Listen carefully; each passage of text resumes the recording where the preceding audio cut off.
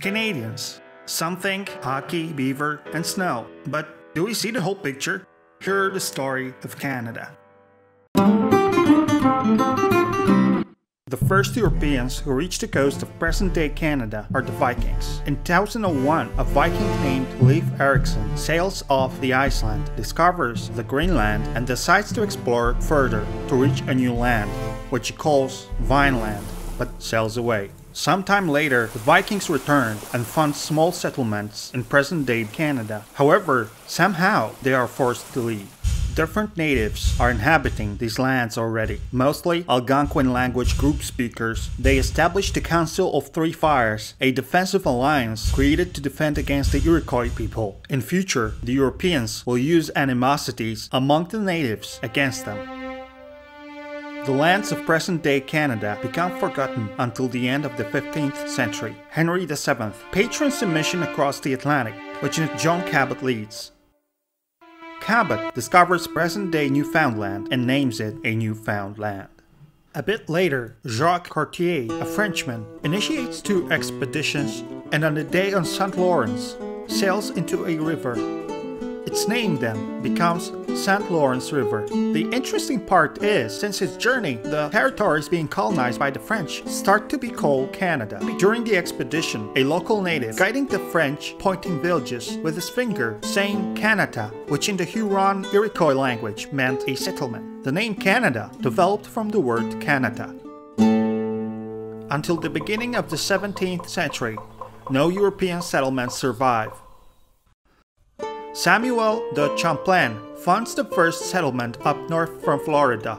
He decides to sail up the St. Lawrence River to establish Port Royal, and later on creates a settlement named after the local language, meaning narrow river. Quebec, Acadia, a French colony in America, is born. Meanwhile, the English find North America appealing. Henry Hudson, sailing along the coast, discovers Bay and gives it the name, the Hudson Bay. The year is 1629. One of the bloodiest conflicts in the history of Europe continues. It is the Thirty Years' War, which also resounds across the ocean. English corsairs take Quebec without a fight but in 1632, the French retake it and in 1642 establish another settlement, Montreal. The first trade undertakings in Canada are led by the French. They are establishing trading companies and dominate the coast. The English want to profit and must seek routes up north. In the year of 1670, they form a Hudson Bay Company. They focus on the fur trade, and competition between the English and the French continues. The French develop settlements. Until the 1685, the population of New France reaches 10,000 people. By 1740, it will expand fivefold. European colonization brings an effective Christianization of the natives, but Canada becomes a profitable fur and skin business center.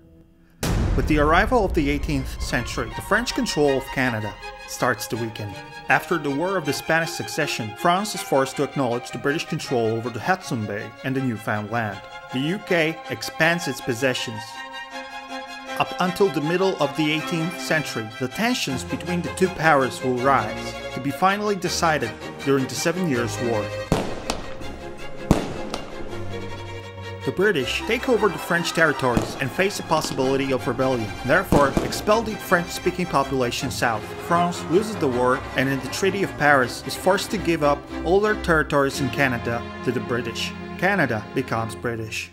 However, the French population remains a formidable power.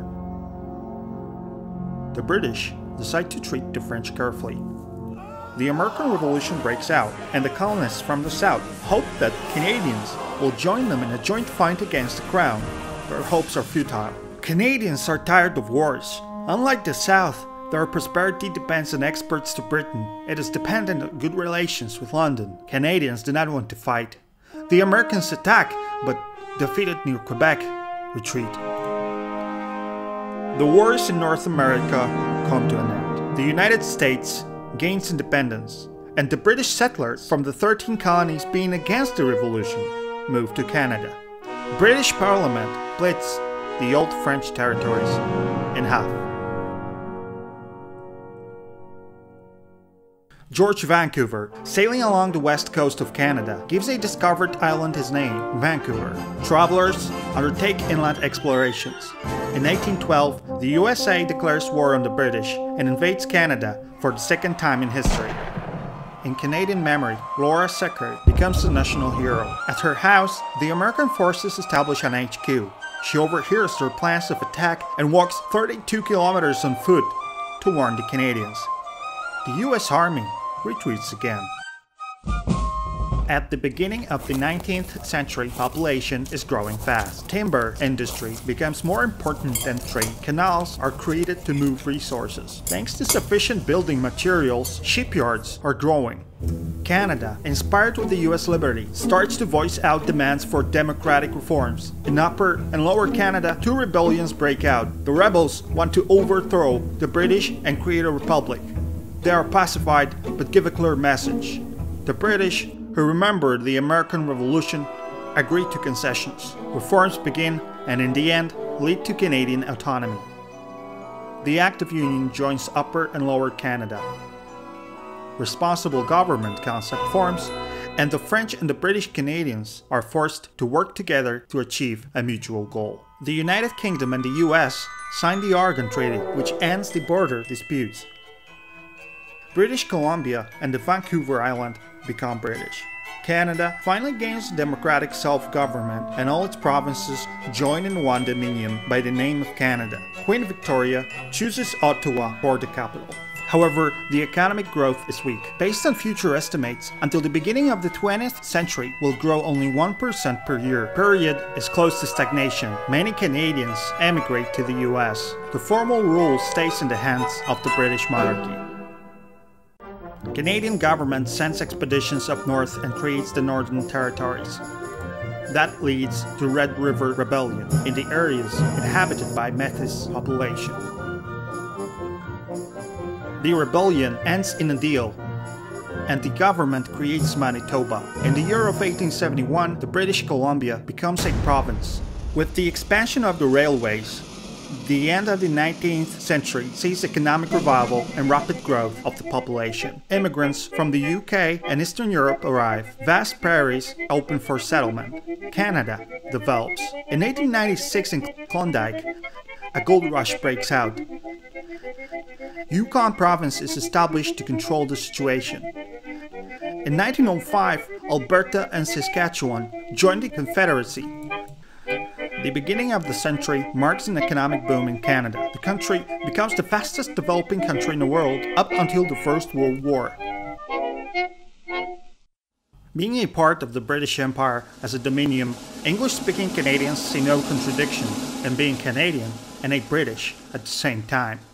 Canadians are expected to give their lives in the name of the Empire. London is not disappointed. Over 60,000 Canadian soldiers die at Ypres, Somme, and Vimy Ridge.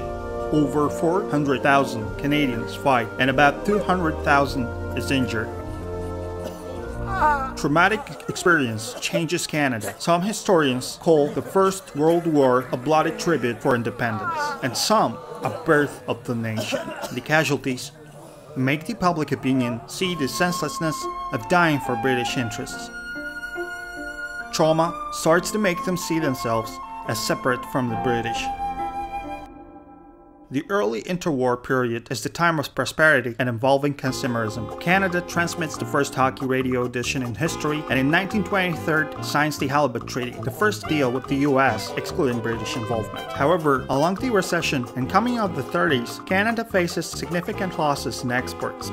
Weakened Great Britain acknowledges the autonomy of its dominions with the Statute of Westminster. However, it keeps its right to change their constitution and establishes an office of the Governor General.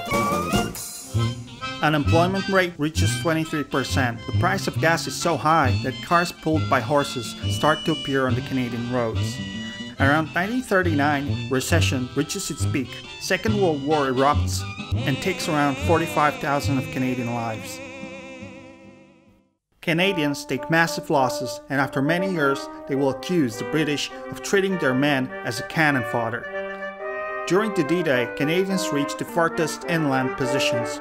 and back home, the first socialist government in North America in history comes to power. In 1949, Newfoundland decides to join Canada as the 10th province. After the war, Canada experiences another economic boom. New waves of immigrants come to Canada and diversify its society. In 1960, in Quebec, a quiet revolution takes place. The Liberals bring secularization to education. In 1980, the province of Quebec decides not to become independent, but a year later bans the English language on the road signs. In the year of 1982, Great Britain legislates Canada Act and enables it to make amendments to its constitution. The same year, Canada legislates a new constitution.